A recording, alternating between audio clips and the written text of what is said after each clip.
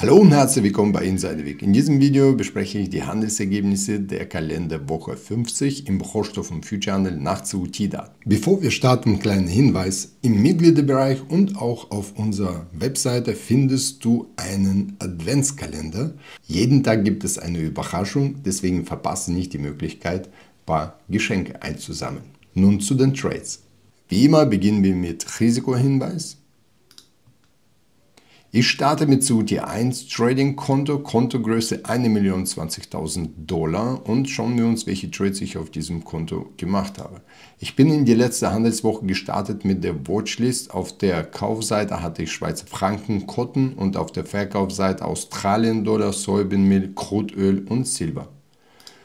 Zu Beginn der Woche hatte ich keine offenen Trades und zum Ende der Woche, wie man sieht, habe ich einen offenen Trade und zwar in Schweizer Franken. Dort bin ich drei Kontrakte long. Im Laufe der Woche habe ich keine Gewinne realisiert, keine Position geschlossen und dementsprechend ist das Wochenergebnis gleich null.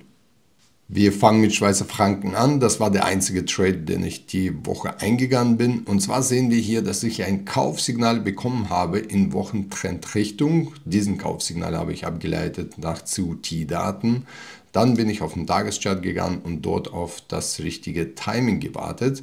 Unser Einstiegsbutton ist entstanden, die Position wurde eröffnet mit drei Long-Kontrakten. So mein Risk-Reward-Ratio oder auf Deutsch CRV ist 3 zu 1. Ich riskiere bei diesem Trade 0,5% von meinem Trading-Konto.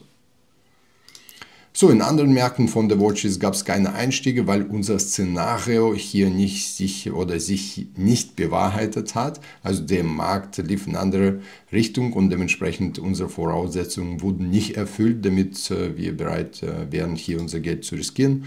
Und wenn wir uns den Markt anschauen im Cotton, im Cotton sehen wir, dass die Korrektur sich weiter nach unten fortgesetzt hat. Im Australien-Dollar ist unser Einstiegsbutton nicht entstanden. So in Soybean-Mehl genau das gleiche. Schauen wir uns Crudeöl an. Auch hier, das Einstiegsbutton ist nicht entstanden. Die Korrektur war nicht hoch genug. So schauen wir uns nächsten Mark an. Und wir sehen hier im Silber. Im Silber ist unser Szenario ist entstanden, aber erst am Freitag. Deswegen haben wir hier auch keinen Trade machen können. So, ich handle auch ein kleines Konto in Höhe von 30.000 Dollar, sogenanntes Startup Trading Konto. Auf diesem Konto wurde keine Trades gemacht im Laufe der Woche.